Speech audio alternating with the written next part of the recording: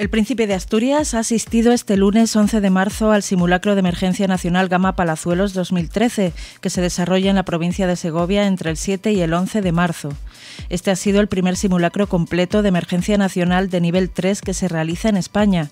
Organizado por la Unidad Militar de Emergencias junto a otros organismos civiles y militares, ha contado con la participación de más de 2.000 personas para hacer frente a supuestas inundaciones, búsqueda y rescate, contaminación química y radiológica y contaminación medioambiental. Sobre las 11 de la mañana, el príncipe Felipe, de uniforme de campaña, llegaba al acuartelamiento de baterías, donde se encuentra el puesto de mando. Allí ya esperaban numerosas autoridades civiles y militares, entre ellas el ministro del Interior, el presidente de la Junta de Castilla y León o el jefe del Estado Mayor de la Defensa.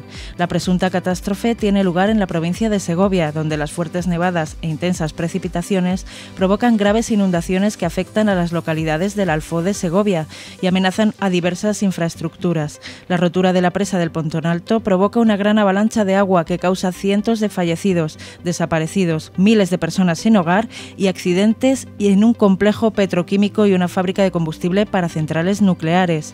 Cada una de las actuaciones de la emergencia se ha desarrollado en distintos escenarios, todos ellos en las proximidades de Segovia. Así, Baterías ha acogido la dirección del ejercicio. La base del equipo de búsqueda y rescate urbano se ha desplegado en la finca Buenos Aires.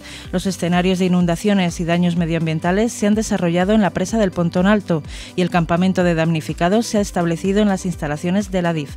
Finalmente, un vehículo aéreo no tripulado ha utilizado el aeródromo de Fuente Milanos.